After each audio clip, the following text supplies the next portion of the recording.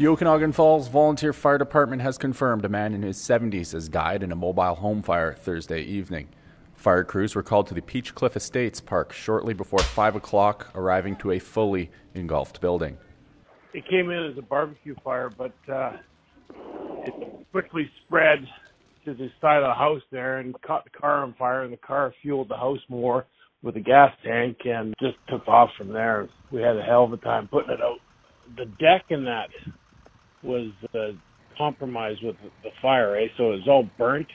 So it it must have been smoldering or something for a while because we couldn't get at the doors, you know, to get inside to, Right. to start out. And uh, so we started popping windows out, put a ventilation fan in there, and started pouring the water to it. Oliver says crews were on scene extinguishing the fire for five hours until about 10 p.m.